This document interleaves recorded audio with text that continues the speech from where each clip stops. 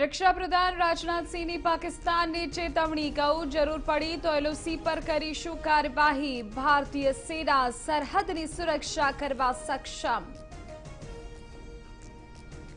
દિલ્હીમાં આંદોલનકારી ખેડૂતો અને સરકાર વચ્ચે આજે વાતચીત બપોરે બે વાગે યોજાશે બેઠક બેઠક પહેલા ખેડૂતોએ રજૂ કર્યા ચાર મુદ્દા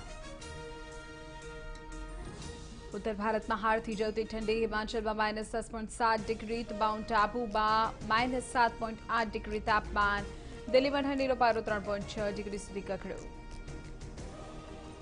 દેશમાં કોરોનાના નવા સ્ટ્રેને વધારી ચિંતા બ્રિટનથી આવેલા કુલ વીસ દર્દીઓ નવા સ્ટ્રેનથી સંક્રમિત ઉત્તર પ્રદેશના મેરઠમાં બે વર્ષની બાળકી સંક્રમિત કોરોનાના આંકમાં સતત ઘટાડો છેલ્લા ચોવીસ કલાકમાં રાજ્યમાં આઠસો ચારને કેસ નવસો નવ્વાણું દર્દીઓએ કોરોનાને હરાવ્યો અને સાત દર્દીના સારવાર દરમિયાન મોત. રાજીનામું આપણા સાંસદ મનસુખ વસાવા, સીએમ રૂપાણીને મળવા માટે ગાંધીનગર રવાના. પહેલા ગણપત વસાવા સાથે કરશે મુલાકાત. ગઈકાલે રાત્રે ભરત પરમાર અને સતીશ પટેલે કરી હતી સાંસદની મુલાકાત. દીવમાં કાર ચાલકે સફાઈકર્મીને અડફેટે લેતા મૃત્યુ કાર ચાલકે સ્ટીયરિંગ પરથી કાબુ ગુમાવતા બની ઘટના પોલીસે આરોપીની કરી ધરપકડ